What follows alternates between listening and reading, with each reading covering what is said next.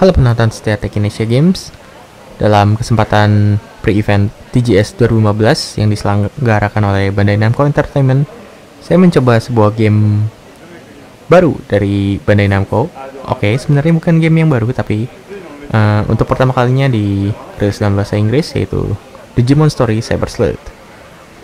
Digimon Story Cyber Sleuth uh, secara secara kasar bisa dibilang sebagai sebuah RPG yang benar-benar murni turn-based.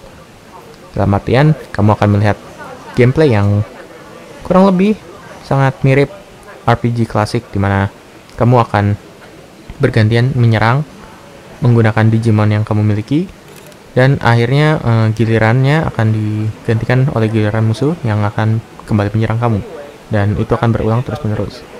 Uh, secara gameplay Digimon Story Cyber Sleuth memiliki um, elemen RPG dasar yang sangat-sangat fundamental.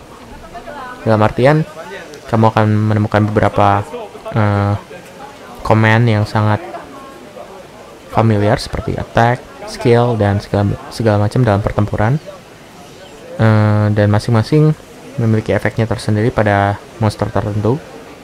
Kemudian ada juga semacam turns yang ada di ujung kanan atas di mana kamu bisa melihat kapan giliran monster milikmu bisa mulai menyerang. Untuk bagian eksplorasi saya belum bisa bilang banyak soalnya karena ini masih demo. Jadi saya hanya bisa berkeliling sedikit saja dan secara keseluruhan kurang lebih seperti RPG pada umumnya. Dunia yang diciptakan terkesan cukup menyenangkan untuk dijelajahi, tapi itu baru impresi pertama saya saja. Kemudian dari segi Digimon, uh, untuk penggemar Digimon seharusnya ini adalah menjadi game yang harus kamu tunggu-tunggu karena jumlah Digimon yang diberikan untuk saat ini saya lihat cukup banyak bahkan untuk beberapa Digimon yang nampaknya tidak begitu populer pun bisa kamu temukan dalam game ini. Jadi kalau kamu benar-benar seorang penggemar Digimon, tidak ada salahnya untuk mencoba game ini. Kemudian dari segi visual saya tidak bisa bilang banyak juga karena saya hanya melihatnya sedikit, tapi saya memperhatikan beberapa hal yaitu satu, Digimon Story Cyber Sleuth ini untuk PS4 sehingga uh, beberapa aspek visual berhasil saya uh, berhasil ditingkatkan oleh Bandai Namco seperti di bagian uh, frame per second.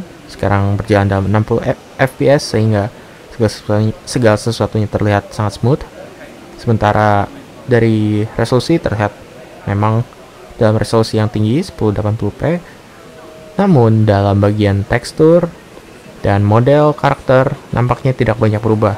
Ataupun shader juga tidak banyak berubah dibanding dengan versi PS Vita-nya sehingga uh, sering kali kamu melihat bahwa model yang ditampilkan terlihat buram di bagian-bagian tertentu. Jadi itu akan sedikit mengurangi nilai visual dari game ini. Namun itu hanya uh, impresi pertama saya. Mungkin ke depannya akan sesuatu akan terjadi sesuatu yang berbeda, tapi nah saya tidak bisa banyak. Oke, kira-kira itu saja yang bisa saya sampaikan tentang Digimon Story Cyber Sleuth. Kalau kalian masih mau melihat lebih lanjut tentang segala sesuatu dari TGS jangan lupa untuk subscribe ke Tech Indonesia Games. Sampai ketemu di video selanjutnya